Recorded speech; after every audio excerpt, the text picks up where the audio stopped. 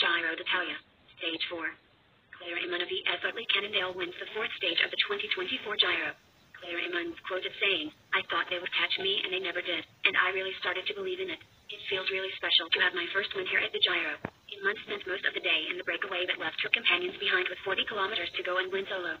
The Canadian finished 17 seconds ahead of a chasing group with Soraya Paladin, Canyon Nasram, taking second on the stage and Cecilie Uttrup Ludwig, FDJ Suez, third, a further three seconds later.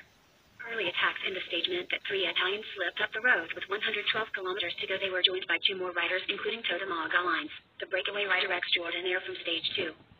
They rode together until the final 50 kilometers when the first climb of the day broke the group apart. There wasn't enough roads to catch Emond with 5 kilometers to go. The gap to Emond was still over a minute. Clara Emond 27 rode to her first victory on the final cobbled climb. Elisa Longo Borghini held onto her overall lead after the stage.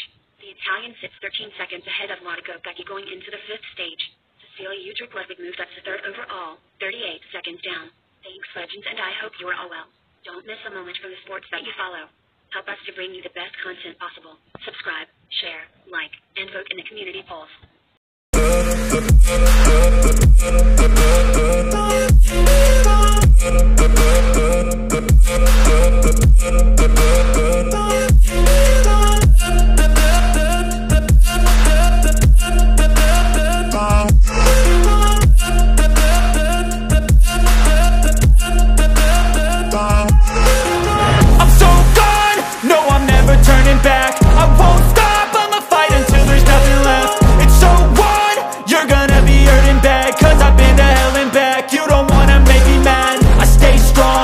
You will never see me crack. And if you get in my way you're gonna feel the wrath.